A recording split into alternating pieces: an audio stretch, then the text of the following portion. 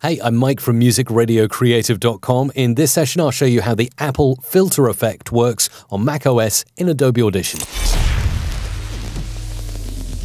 Okay, here we are with a voiceover from Pete saying this. New York's best. Now, you may well have used the parametric EQ before in Adobe Audition. In Effects AU Apple, if you're on a Mac, you can go to Filter and you get something looks very similar to parametric EQ. Again, we've got different points here we can drag up to change the EQ. Let's have a listen to what we can do. First of all, maybe taking off some of the low end. New York's best.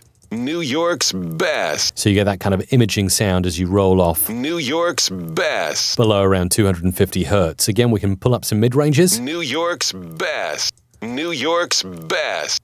and give some extra treble as well, perhaps. New York's best. And you can see here it is high shelf or it can be low pass if you like. See, just like that. Choose the type of uh, filter you want. Uh, you can choose also the gain here manually. You can type it in, and the same with the frequency. You can type in a number as well if you prefer. But that is a basic overview of how the Apple filter effect works as an audio unit plugin for Adobe Audition on macOS.